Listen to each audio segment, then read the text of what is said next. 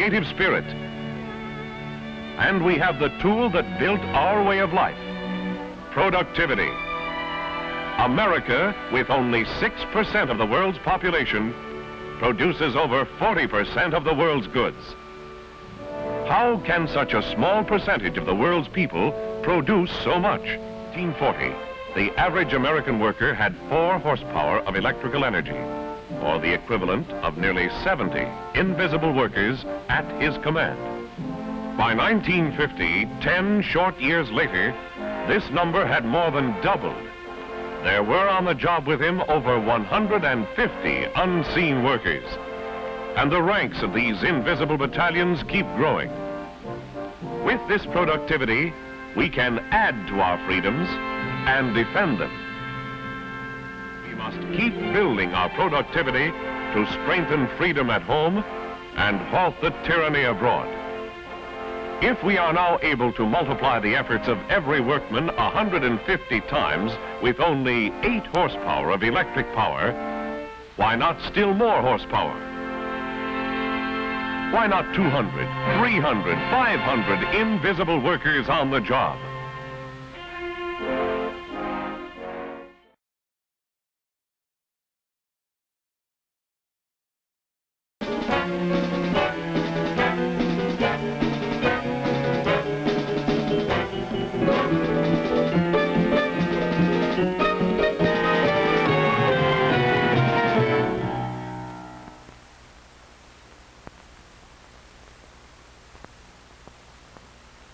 Have an energy crisis.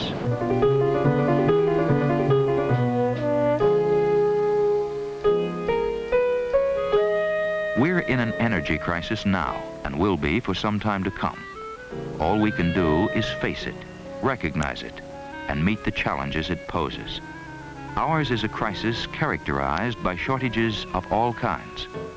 We have at present an absolute shortage of natural gas. We cannot produce as much as we can use, as we are equipped to use in our homes and our factories. This situation is destined to continue. Our industrial progress and economic growth was fired by what many seem to look on as endless energy. But warning signs were there. Until 1950, the United States could supply the energy needed. But in less than 25 years, we found ourselves in trouble. Each year, we used 5% more, doubling our demand every 12 to 14 years. Coal production stayed at 1940s levels crude oil production dropped. In 1968, natural gas consumption began exceeding new discoveries. Oil companies during this period were encouraged to get oil and gas from other countries. By 1970, we imported one-third of our oil and gas, relying on others to meet new needs. Then, in 1973, the big Middle East producers cut off oil shipments to major consuming countries. When the embargo was lifted, the price of foreign oil had jumped from 3 to $12 a barrel, four times higher than before. More than $20 billion left the United States. One out of every seven gallons of oil we'd been using to power our homes, our cars, our businesses, and our schools just wasn't there anymore. At the height of the embargo, half a million people were thrown out of work products we manufactured and sold dropped from 10 to 20 billion dollars in value. We were caught by surprise with a crisis that could recur and recur unless the entire country recognized the dangers of a quite real energy shortage. And out of the embargo was born Project Independence, a launching pad from which would evolve this country's first national energy policy. The first three goals are largely the job of government and industry. The fourth conservation is up to all of us. The blueprint was designed to make the United States energy self-sufficient by 1985. That is, we would import some oil, but would not be so dependent on other countries.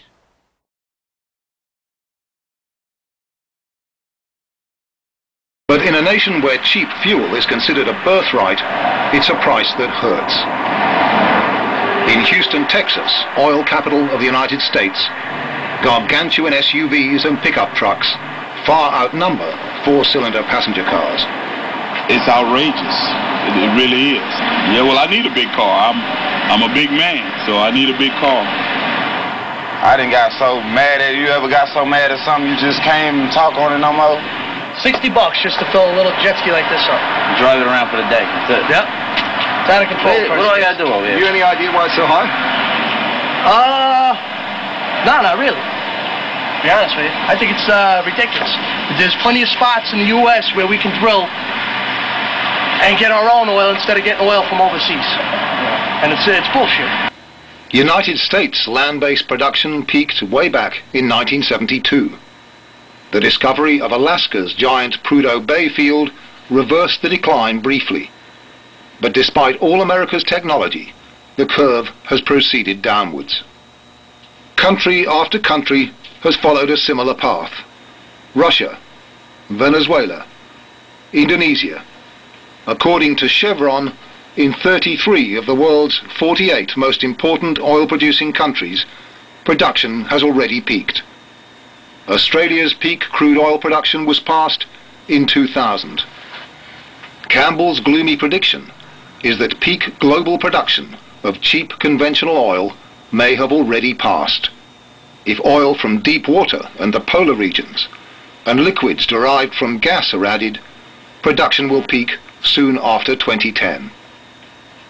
As Dr. Campbell tells audiences in a lecture he delivers all over Europe, as discovery has trended down in the past 50 years, consumption has kept on rising. The last year in which the world discovered more new oil than it used was 1981. If you're an optimist, and I consider myself an optimist, um, uh, then you want to think that everything's going to be fine. I want to think things are, are going to be fine. But if you're a realist and you think about the risks of being wrong, the downsides are enormous. If we get this wrong, we are all in very serious trouble. What sort of trouble? Well, if you look at what happened in 1973 and 1979, um, we had recessions, we had um, large unemployment, we had inflation, uh, we had very serious economic problems, and those were brief interruptions. The peaking of world oil production will not be brief. So what are your customers having to pay per day? Well, they they have to pay for uh, for uh, our increased investment. Uh, day rates range from uh, three hundred thousand to six hundred thousand dollars per day. While we can drill off West Africa and they have significant reserves, or Brazil, or the deepwater U.S. Gulf, they're just going to be replacing what we're currently consuming. But that's just treading water. That assumes that we're not increasing consumption. To be clear, ladies and gentlemen, we have more than sufficient reserves to increase production capacity and are committed to do so in line with demand growth. We believe that Saudi Arabia could produce at substantially higher levels for the next 50 years. Now that's absolute rubbish. You, you, you cannot possibly believe such statements. It's absolutely beyond belief. Basically, what they're asking us to do is to trust them. And frankly, on something that's the lifeblood of our civilization and the way we live, to trust somebody who won't allow any audits uh, is extremely risky. I personally uh, don't believe the numbers that are out there. I think His Excellency, the Minister of Petroleum, has said that we will meet demand as it materializes.